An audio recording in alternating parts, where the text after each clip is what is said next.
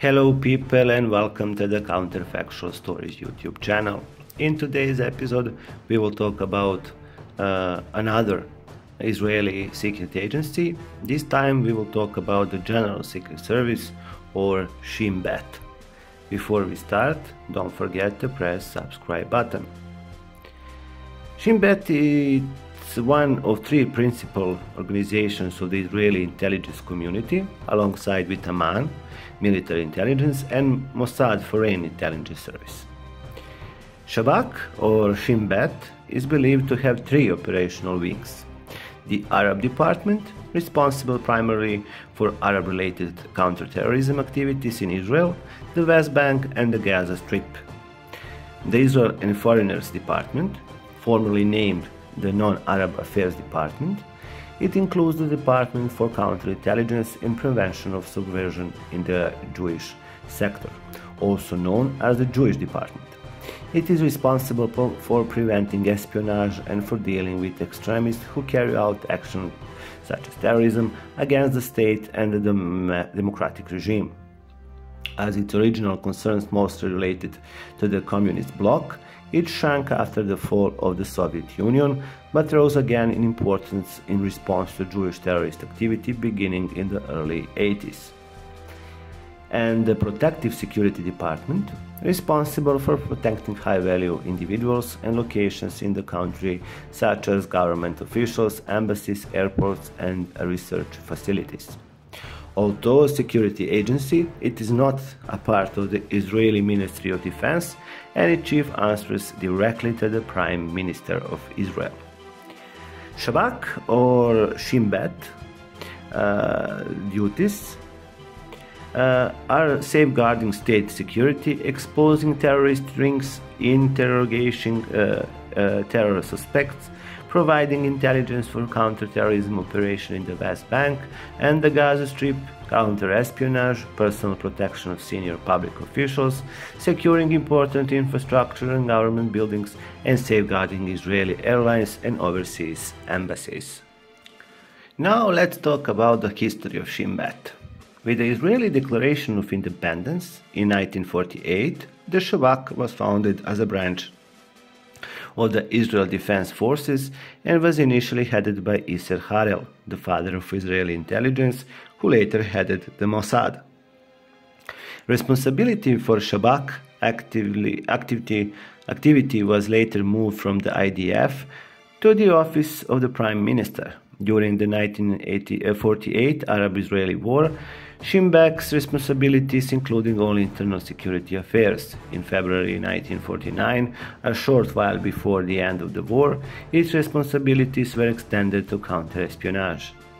One of the Shabak's leading success was obtaining a copy of the secret speech made by Nikita Khrushchev in 1956, in which he denounced, uh, denounced Stalin.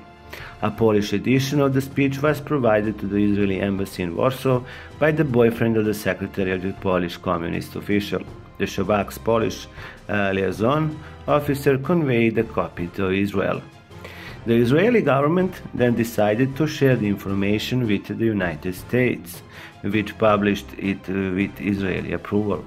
On the other hand, a study published in 2013 by Matitiahu Mayzel cast doubt on the story, arguing that the speech was not secret and that it was conveyed to the West by multiple sources, including Soviet political and intelligence agencies. And agencies. A notable uh, achievement in the counter-espionage was the 1961 capture of Israel Beer, who was revealed to be a Soviet spy. Beer was a lieutenant colonel in the reserves, a senior security commentator and close friend of Ben Gurion and uh, reached high Israeli circles. Beer was tried and sentenced uh, uh, to 10 years in prison, later extended by the Supreme Court to 15 years following his appeal, where he died. A year before, Kurt Sitt, a Christian German from the Sudetenland and professor in the uh, Technion was revealed as a Czechoslovakian spy. In 1967, an Egyptian Israeli double agent, Rifat Ad Gamal, gave Egypt false information about Israeli battle plans, claiming it would begin, begin with the ground operations. The Egyptians too left their aircraft on open runways, which enabled the Israeli Air Force to knock out Egypt, Egypt, Egypt Air Force within three hours of outbreak of the Six-Day War. Operation Yated as it was later known, is considered one of the most successful deceptions in Israeli intelligence history, on a par with Britain's Operation uh, Mincemeat during the World War II. After the war, monitoring terrorist activity in the West Bank and Gaza Strip became a major part of Shabak's mission. During the 1984 and 1986, Shabak experienced a major crisis following the Kav 300 affair, in which four Palestinian militants hijacked a bus. Two of hijackers were killed uh, in ensuing standoff, and the other two were killed uh, shortly after being taken into the custody by Shabak officers who later covered up the event and conspired to frame a senior IDF officer. Following the affair, Shabak head Avram Shalom was forced to, to resign. The 1987 Landau Commission set up investigate Shabak interrogation methods, criticized the organization, and established guidelines uh, to regulate what forms of physical pressure could be used on prisoners. Among the practice, authorized were keeping prisoners in extra uh, crucially uncomfortable postures, covering their heads with filthy and molderous sacks, and depriving them of sleep.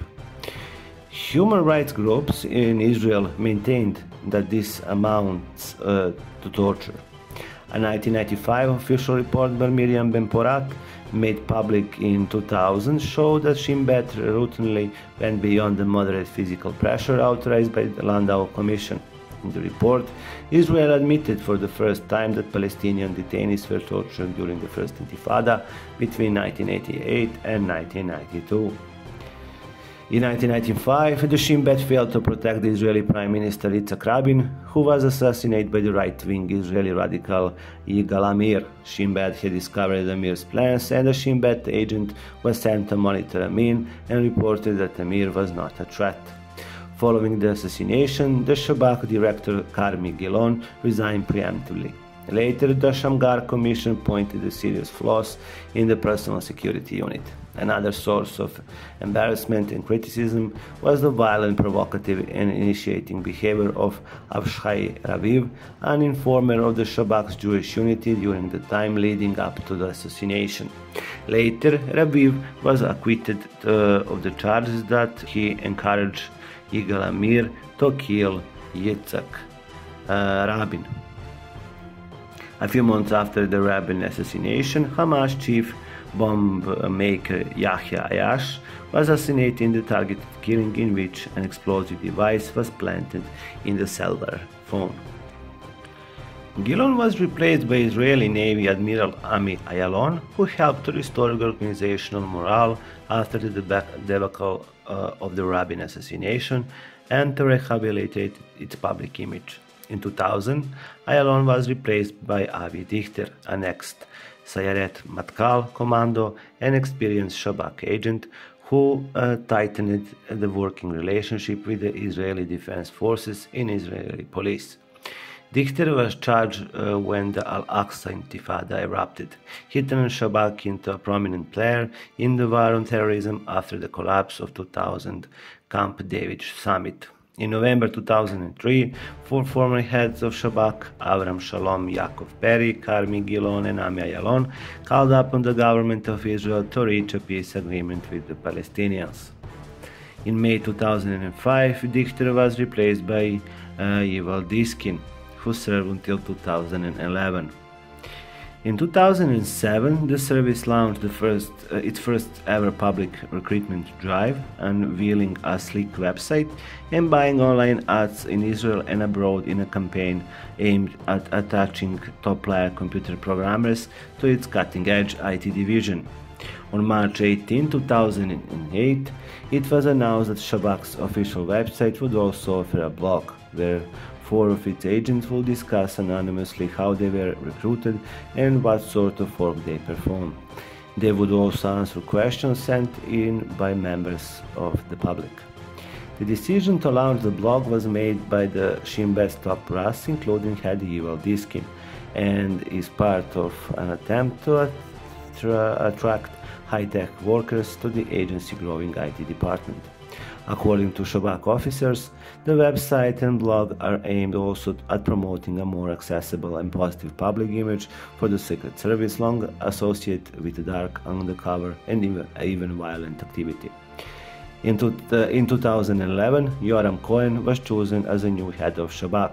In 2016, Nadav Argaman was chosen as a new head of Shabak, and on October 11, 2021, Ronen Bar was announced as the next head of ESA. I hope you like this episode. Don't forget to press subscribe button and see you very soon. Bye.